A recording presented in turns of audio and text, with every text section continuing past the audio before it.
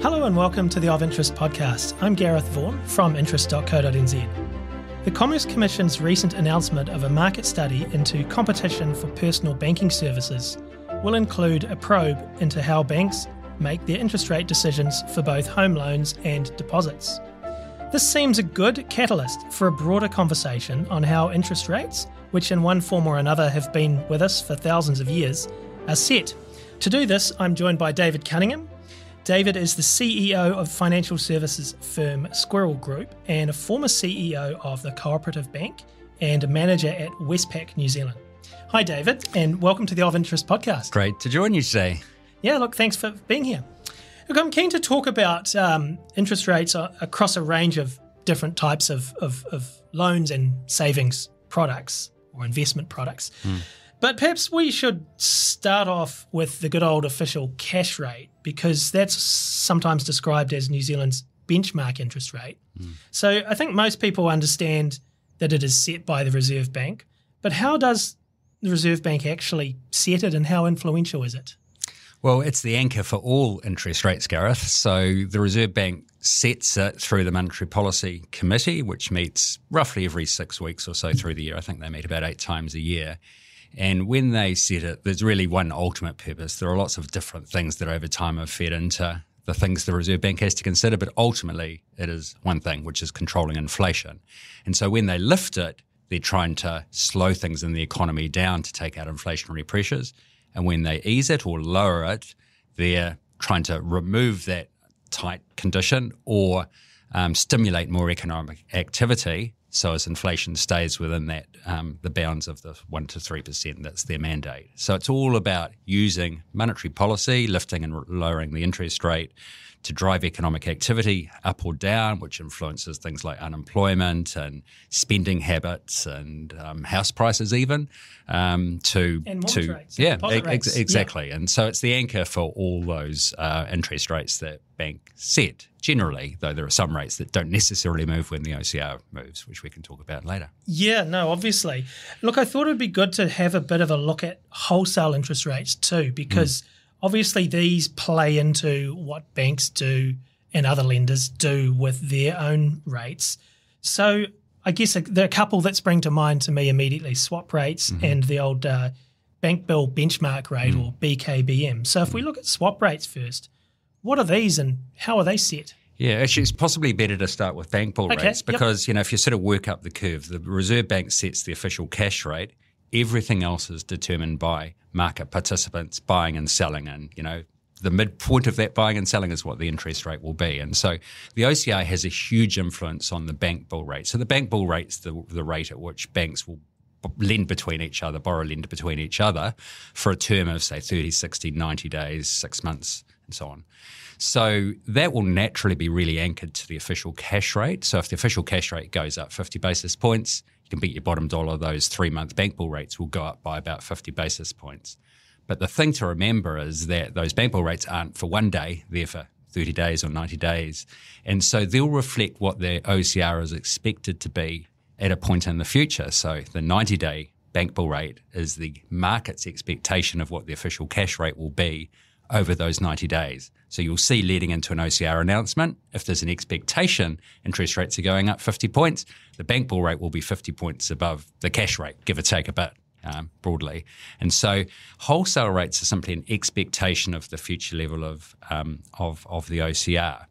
There's a point, though, when you get out to very long term interest rates, like, say, 10 years, government stock rates and swap rates, wholesale rates that drive off that, they'll start to be more influenced by what's happening globally. So, for example, US interest rates will have an influence on those very long term rates. So, you'd sort of say global interest rates have probably, I don't know, 50%, 75% impact on those very long rates. Um, the OCR in New Zealand on the short term rates, and depending on where you are between sort of zero and 10 years, will have different influences. But for New Zealanders, really, it's mainly um, the OCR because most of our borrowing and investing is done for terms of you know less than three years.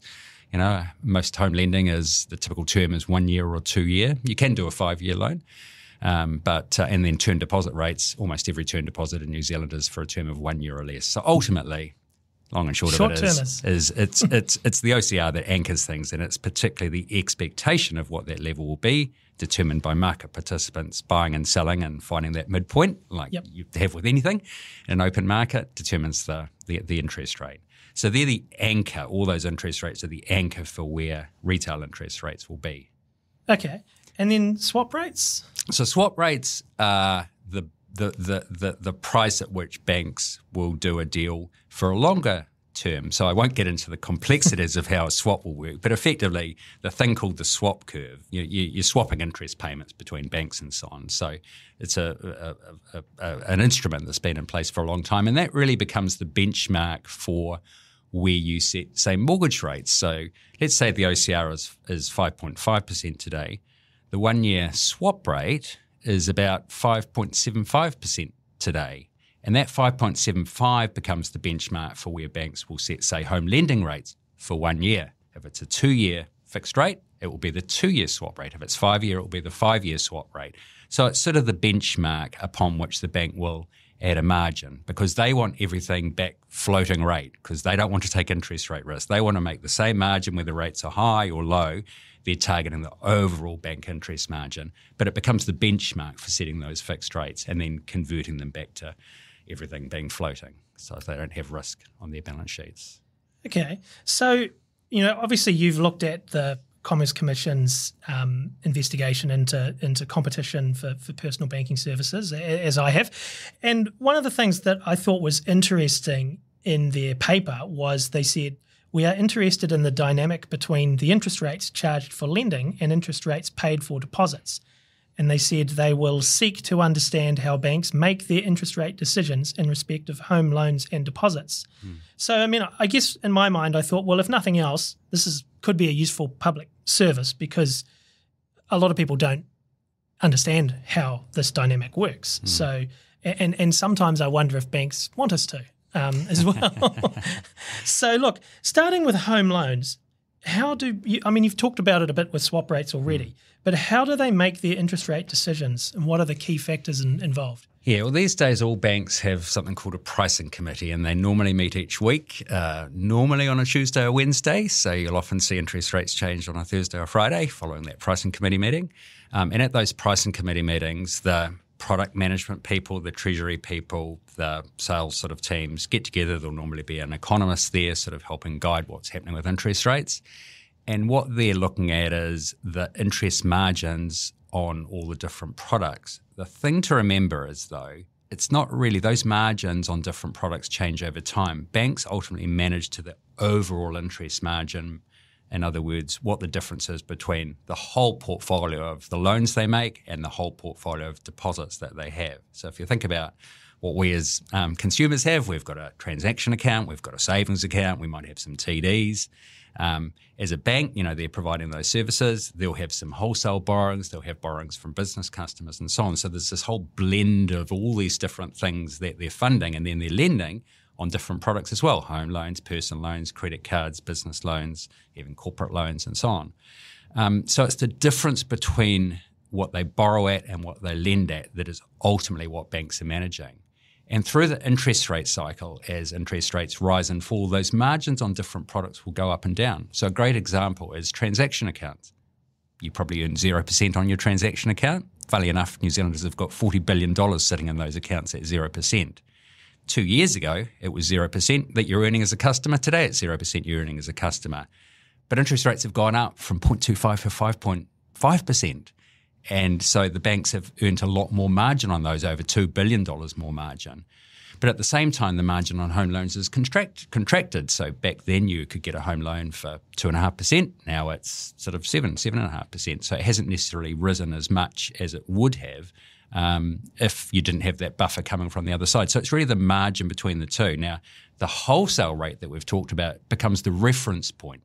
So banks use something called transfer pricing, where they use the wholesale rate as a benchmark, and then they assess the margin above that for loans and below that for for deposits. But of course, those margins on loans and deposits move in and out through the interest rate cycle. They're wider on lending at the lows and narrower in lending at the highs. And so it's that overall margin.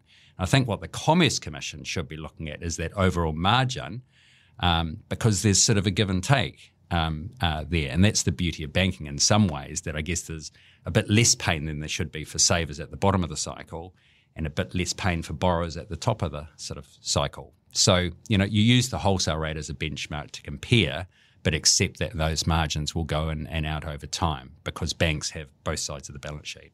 Yeah, absolutely. In terms of the deposit side of it, what are the key factors there? Is there a key benchmark that, that those rates are matched to? Well, I mean, the OCR is sort of the influence, yeah. but some things move and some don't. So the transaction mm. account interest rate stayed at zero, even though the official cash rate is yeah. five and a quarter percent higher. Savings accounts bottomed at about 0.1 percent, just 0.1 percent. It's hard to relate. I can to remember now. that. Yeah, yeah, 0.1 percent you got on your savings account. Um, today, the average savings account interest rates is a bit over three percent, three to three and a half percent, and so so, you know, those are making a 2% margin to the official cash rate today on the $75 billion in savings accounts. Go back two years, it was nothing, almost nothing. And so, you know, really, really illustrates how those sort of margins go in and out. So at a bank, you'll be recording that you made 0% profit on those savings accounts two years ago and that you're making, you know, a couple of billion dollars of profit on them now. And that's this whole sort of there's a bit on one side offset against a bit on the other side. But in reporting at a bank level, um, you know, the accountants will produce a report that shows the margin between wholesale and the retail rates and, you know, on both loans and deposits. Okay. But we've got to accept that those margins change a lot during the interest rate cycle. You just can't look at home loans and say the margin is always, let's say, one and a half percent at some time in the cycle, it might be well below 1%. At sometimes it might be above 2%. Above 2%. So, you know, it's disingenuous for a banker, for example, to say margins are really low on home loans at the moment without looking at the other side of the balance sheet because margins are really high on deposits. Unfortunately, right now, we're actually having that behaviour where, where we've got some banks sort of setting rates with only reference, it would seem to me, to the wholesale rates. It's a sort of a bit of another story, but uh, yeah, key point the margins move in and out, but you've got to look at the total. Mm. And that's what I think the Commerce Commission will be looking at, you know, that quantum of the whole pricing decision, not just a pricing decision on an individual product in isolation. Mm-hmm. So when you, you look at bank margins at the moment, I mean, net interest margins, New Zealand banks typically do pretty well on net, you know, overall. um, but net interest margins are by international comparisons are usually pretty strong here. How, how do they measure up at the moment, and are they justifiable overall? Well, the short answer is I believe no, they're not justifiable. Um, there's a fantastic series that the Reserve Bank's got that you can get off their website, which runs for 32 years, so back to 1991. And in that, you can see the interest margin and other income for banks over that time. Now, what was interesting going back to um, 20 years is that banks used to get 40% of their income from fees other income fees. And so that was remember remember the days you had forty cents a transaction yep. and ten dollars sort of for the month, and you know, or maybe you had ten dollars plus some fees and so on. Today you're paid next to nothing, and so there's been this massive erosion of fees, and that's been driven by digital banking because you don't have to go into a branch and have a teller accept your deposits or withdrawals and so on. So technology has driven out fees and competition has driven out fees. Probably Kiwibank's um, arrival 21 years ago contributed to that because they were the low fee bank back then. Now most banks don't have fees. So the interest margin going back to 1991 was more like 3.5%. And if you look at the graph over that 32 years, that interest margin has steadily declined. It will go up and down at different periods, but it's steadily declined from about 3.5% to 2% before COVID hit. Today it's 2.4%. So that long down, downtrend, driven by the interest rate reductions and then increase in the OCR subsequent as the Reserve Bank tightened policy, has allowed banks to expand interest margins by what works out at about 20%. So it's a it's a it's a lift in the price, the, the net margin you're charging on your product of 20%, which actually most New Zealand businesses would love if they could do that as an industry. And that's an oligopoly in action, and that's what the Commerce Commission will be exploring. Mm, it's interesting. So, one of the other things that I think people ask about quite a bit with home loans is you know, you mentioned in New Zealand that most of us are on one, two year mm. fixed term loans. Obviously, you can go as far out as five years if you really want to. I think for mm. a short period of time, BNZ had a seven year, but yeah. didn't get a lot of take, and maybe mm. TSB as well, but mm. didn't get a lot of take up. Then you look elsewhere. Hmm. Like, mm. for example, if you look at Australia, most people there are on variable or floating mortgage rates. And then you look to the US and they have these 30 year mm. fixed term mortgage rates. Mm. So, why these differences between these three markets? Yeah. Well, perhaps starting with what's logical, the logical thing is for everyone to have a floating interest rate. Maybe if you want interest rate certainty, you'd have a fixed interest rate. Why it's different in New Zealand is partly my fault, going right back to the 90s. Now, back then, everyone in New Zealand did have a floating interest rate. And I was at Trust Bank at the time, um, and we and other banks started to use a fixed rate special. So we'd go, you can get a special rate for one year, for example, and we'd take a lower margin because it was just that little bit of new money coming into the system we kept, you know. So we'd do a special rate at a lower margin than on the floating rate. Now, what happened was over 20 years, everything became a special fixed rate. And that was the only rate most people took. And so what you saw is intense competition for fixed rates. In theory, it starts out, it's just the, mar- the next new loan that's done. You know, it's the marginal cost. But when the whole portfolio becomes fixed rate, it becomes the price on the portfolio. But because all the competition was there, banks just kept on fattening and fattening and fattening margins on floating rates to the point where today they're sitting at about more than 3% above the wholesale, the OCR whereas fixed rates are typically in a range of 1 to 1.5%. So, you know, you be the judge of whether that's fair or not. Um, but that's the sort of history. It was basically pricing, competitive pricing to win new business, which simply became the norm in the market. So today it's a much lower interest rate because the margin's lower on fixed rates. Turn to Australia, a lot more competition. And so competition has kept those floating margins at similar levels to fixed margins. And generally, the yield curve is upward sloping. In other words, short term rates are lower than long term rates. And so it makes sense the cheapest point on the yield curve is the short rates. So almost everyone's got floating. Now, there are times when competition will come into the market and those fixed rates might go down. So Australia has had a bit of a trend towards fixed rates a couple of years ago, especially when interest rates, rates were really low. You know, around, you know, you could get a 2% interest rate in Australia. Now everything's turning back to floating. So that's sort of and that's because interest margins are the same on fixed and floating rates in Australia. US is a totally different story. Um, it's an incredibly liquid market. You've got government bonds and so on being issued for 30, 40. I think I've even seen a 100 year bond, so a fixed interest yeah. rate for the next 100 years. Yeah, it's I've crazy to, too. It's, crazy to think yeah. about. But it's a very liquid market. And the other thing about the US market is banks generally don't own mortgages. They sell them, they originate them, take a margin, and then they sell it off to wholesale investors through things like securitization, mortgage backed securities. You know, arguably the cause of the global financial crisis was mortgage backed securities, but banks don't hold it on their balance sheet. So they sell it off to an investor that is either speculating or holding for the long term because they're a pension fund or something like that. And so they're prepared to accept really long term interest rates. And the, the, the really unusual thing about that market is you can take a 30 year fixed rate and then you can give it back to the bank, pay it back with no penalty at all. And so, so, so it's a, sort of a weird market. So as interest rates fall, there's this huge amount of people switching, you know, paying it off and getting a new one lower and lower. And then when interest rates are really low, they're not going to pay it off. So it's just a really liquid market with a different way of operation with most assets, most home loans being securitized into the wholesale markets where the investors are very different risk profiles from the banks. Okay. And there's obviously a whole range of other retail uh, products that have interest rates attached to them. And I'm, I'm talking here about loans. So I'd just be interested to get a little bit of flavour on how these are set. So things like personal loans. So these might be taken out for debt consolidation, mm. home renovations, big purchases, emergency expenses, holidays, mm. whatever takes people's fancy. Um, car loans, an obvious one and good old credit cards, which still seem to have very high interest rates, in, in my opinion. Mm. So, I mean, how do banks come up with these interest rates? Yeah.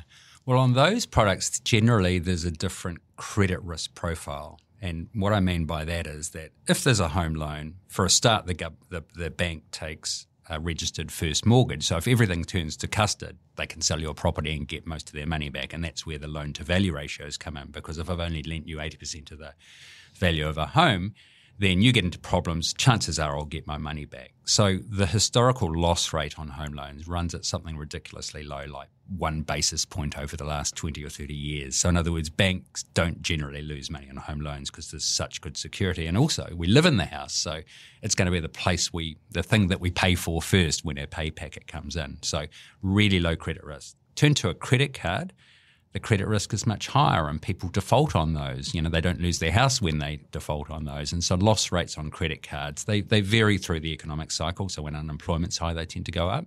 Um, but generally, you'd look at, at sort of a 2 to 4% loss rate. So if you sort of think about the interest margin's got to cover that, so therefore the interest rate's got to be got to be high to take account of that. And personal loans are sort of similar loss rates on, you know, def, um, delinquency rates on home loans are running at, personal loans are running at about 8% at the moment, I think. And so, you know, the loss rate might end up being about 4%. So you've got to sort of have your interest rate cover that as well as the cost of borrowing the money. But then banks are taking a pretty decent margin, as you mentioned, the credit card interest rate. It's been unchanged pretty much for the last 20 years, even though interest rates have gone from 10 to zero and back to, you know, six that that uh, credit card interest rate average for people paying interest is about 18%, and it hasn't changed in all that time. So what that means is, you know, a lot of people obviously have don't pay interest on their credit cards, so they run it up, pay the balance off, and so on. So the average interest rate on credit cards is about 11%. Take off credit losses of let's say three, that leaves eight. You're funding it at six, five and a half, six percent. You're making a two percent um, margin. Of course, when interest rates were really low, the margin was was bigger. But you know, the secret is not to have credit card debt. It's terrible. It's a terrible deal. And anyone with interest-bearing debt on a credit card should go to their bank and at least move it to a personal loan to, to pay it off. Uh, credit cards are fantastic instruments for payments, but a terrible instrument for borrowing money. Personal loans are sort of somewhere between the two. You know, arguably the margins are there, there are a bit too high, but you know, it's competition in those two products that would that would drive those interest rates down. And other areas that are, you know, obviously key areas of, of borrowing in New Zealand, business and rural, mm. um, rural or agricultural lending. Mm. There's less sort of, I guess, information mm. visible yeah. around how banks price these rates. Hmm.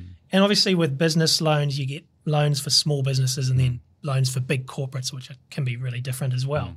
So, what are the key factors that make up how banks price these loans? Yeah, well, starting with the easiest end is the big corporate stuff. So, they will have in their loan agreement with the bank a fixed margin over a wholesale interest rate. So, depending on how high the credit quality of, is of that borrower. So, if Fonterra, for example, would borrow at a different rate from a small sort of company. And so, you know, a Fonterra might be at a margin of sort of 0.75 or 1% over the wholesale interest rate, whereas a small business might be at a margin, you know, 2 or 3% depending on the credit risk. When you're into those sort of non-corporate space, you're into a similar approach to what happens with home lending, um, where banks will sort of have a benchmark rate that goes up and down as, as that OCR moves, as wholesale rates move. If it's a fixed rate, the swap rate will come into play.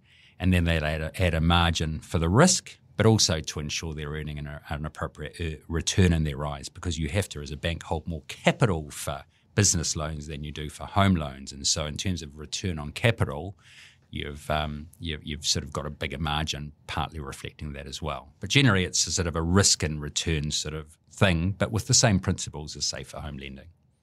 And rural loans is done in the same way as yeah, business? Yeah, yeah, yep. very similar to business loans. I mean, if you're in the in the, the as you say, they're not very trans not not very transparent. You know, banks publish base rates, yeah. but you don't know what margin people are paying over On those base, base, rates. Rate, Normally, everyone will be paying a margin over the base rate, so you yep. can't look at the base rate and say that's the rate borrowers are paying. Whereas with home loans, you can. But it's the same underlying principle, and and you know if you're in the agri sector, you know there'll be advisors that can sort of tell you what all the different banks are charging. It's just not as transparent as as with the retail market. So you, you talked about with home loans, with obviously the, the, the, the, lender has the security of the, the house. Yeah. I guess I just wanted to touch on secured and unsecured lending mm, because obviously mm. some personal lending might be secured if mm, I take out mm. a loan to buy a car. It might be secured against the car or it might not be. Mm. So that obviously will yeah. will affect the risk profile that's for right. the lender and how much I pay on my on my loan. Yeah, that's right. So a secured um, personal loan generally would be secured against a car uh, will be cheaper than an unsecured because the the lender can sell the car. Now, often that doesn't mean you get the value that it's sort of, but, but it is more, there is more security there. So the loss rate, what the bank ultimately loses from bad debts on those car loans will be, that are secured, will be lower because there's a car that can be repossessed and sold. So, you know, the underlying risk is affected by the security. As I say, for home loans, there's very, very low risk. For unsecured personal loans, credit cards, much, much higher risk, and business can be anywhere on the spectrum. You know, a very profitable business is relatively unrisky, a, a, sort of less profitable or highly volatile profitability sort of business is, is more risky. And so the interest margin will reflect that. And just the other thing on this I wanted to touch on is, is bank capital. Now, we, mm. we don't want to turn this into a, a mm. podcast about bank capital. We, have mm. done that separately. We can do it again another time. Yeah. But just in terms of, I guess, banks' regulatory capital requirements, how does that drive the sectors that they prefer to lend into? A lot. Uh, banks for home loans, vanilla home loans, hold a 35% risk weighting, um, and, and compared to, say, a business loan, which would be 100%, or a personal loan or credit card being 100%. So that almost means you get three times the bang for your buck in terms of if you've got a buck of capital, a dollar of capital, then you can lend three times as much with that capital for a home loan as a business loan. Now, if you sort of think about the profit that you earn, you calculate how much money you make divided by how much capital you've got invested. And so, you know, if you can do three times as much, you can accept a lower margin. So, capital has a big influence on um, interest rates because they drive return on equity. And ultimately, it's that return on equity that, that drives what a, what a company will be worth on the share market. So, most of the banks in New Zealand are listed in the Australian market. Um, so, the return on equity determines the share price. And so, the pricing behavior is ultimately in growth aspirations and outcomes will drive that share price. And so, you know, how much capital is invested and the return on equity in particular, what, how that flows into dividends um, and influences um, the, the, share price. So, capital is a big influence. Um, yeah. Okay. The other area I was just interested in touching on is bonds. Mm-hmm. Now, there's obviously a whole range of different types of bonds and I mean, we don't have to go into all of them, but just to list mm. a few corporate bonds, obviously, inflation index bonds, mm. um, you know, green bonds now, um, government bonds, local government bonds. Obviously, there's there's fixed rate and floating rate bonds, and that's another story altogether. Good old junk bonds.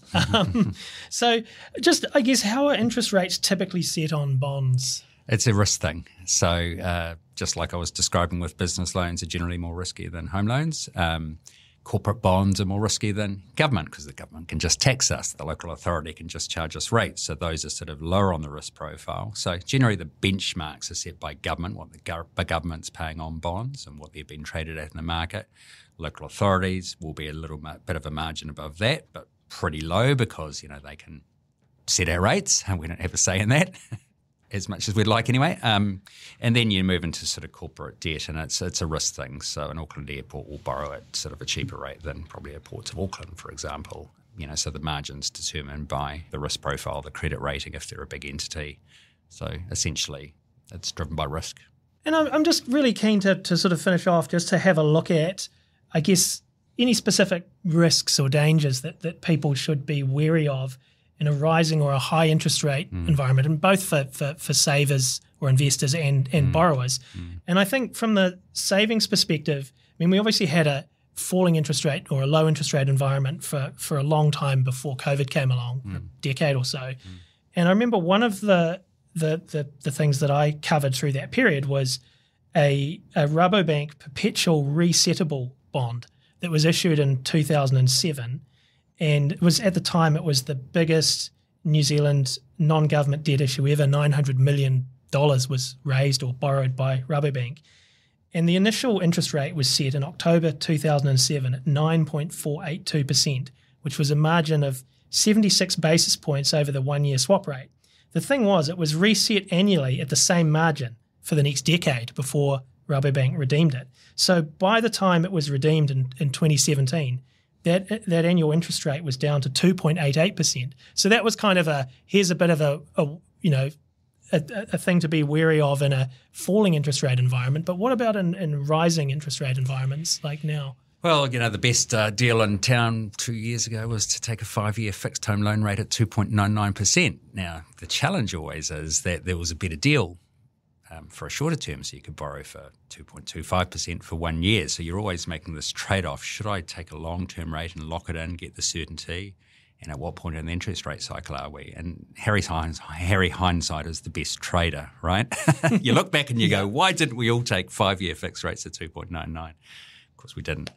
Um, so, um, you know, in a in a low interest rate environment, you know, and it's a judgment thing. But when interest rates are really low, it makes sense to lock in for longer terms. When interest rates are really high, and you know, we're in an interest rate cycle where the where the Reserve Bank's role is to control inflation. They've pushed the OCR up. The natural level of the OCR is several percent below where it is now. The Reserve Bank has published their view on that. Um, and so we are at the top of the cycle, interest rate rise or very near to it. And so locking in now for a long term probably doesn't make a lot of sense. But the longer term rates are lower than the one year, the five year rate's lower than the one year rate. So it's again that judgment, you know, do I take a lower long term rate or a higher short term rate? If interest rates fall, I'll benefit from a lower short term, um, higher short term rate and vice versa. So, you know, it's always a trade off. But I mean, the, my, my reflection is as a borrower, it's often wise to spread your risk. So, you know, have a bit at one year, two year, three year, because interest rates might not fall for a year or two. You know, many forecasters have moved their expectation from say February out to you know a year later even, and so if you'd locked in for two years, um, you know, at sub seven percent, that was probably a good deal in hindsight. So you know, we can't you know predict what's going to happen in the future, but what we can say is we're almost certainly at, at, or very near the top of the interest rate cycle. So it makes sense to have sh- have lower short term rates, and I guess that's why you go to a mortgage advisor who will give, you know, advice on how to structure your mortgage. They'll take account of your personal circumstance. You know, could you afford it if interest rates went up one or two percent? Um, have you got flexibility and so on? And, and, you know, the best thing is always to pay a bit more on your mortgage, so you build up a buffer. So if interest rates are really low, you paid more off your mortgage. So if interest rates rise, there's a bit of a buffer. So yeah, I mean, it's a, it's sort of a risk management, what's the risk risk. But you know what I'd say is when interest rates fall and you're in a long term fixed rate, you'll have break fees, and that's because the bank has hedged that that interest rate for say five years or three years. And if you break out of that three or five year term that you've taken on your home loan, then they've got to unwind the other side of that transaction and they'll lose money on that. So they'll recover at that from you, which is sort of fair enough, but it's something to be wary of. You know, you could very easily be paying ten, twenty, thirty thousand dollars of break fees on a long term fixed rate if interest rates fell two percent over the next two to three years, which is quite probable.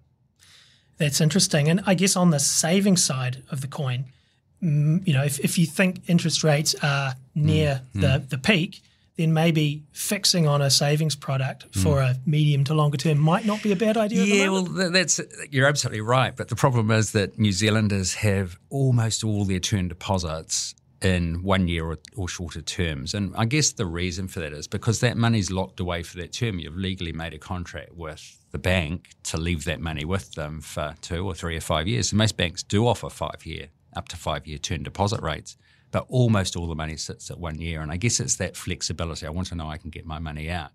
The better solution, really, if you sort of think rates are high and you want to lock those rates in and have that security, generally it's older people with a lot of money invested. So if you want that security of a regular income stream, you're better off to avoid bank deposits and go into a, you know, maybe a managed fund or don't invest directly, say, in government stock or a long-term corporate fixed rate bond where you can sell it on the secondary market. So you can you can unlock that um, that money as opposed to it being locked away at a bank. Very few New Zealanders do that. You you really have to go through a share broker or you know a trading share trading platform to have access to that. Um, but you know it's a really good alternative um, for when interest rates are high, in particular, because you can get your money out. There's always going to be a buyer of government stock at, at, at the going market price.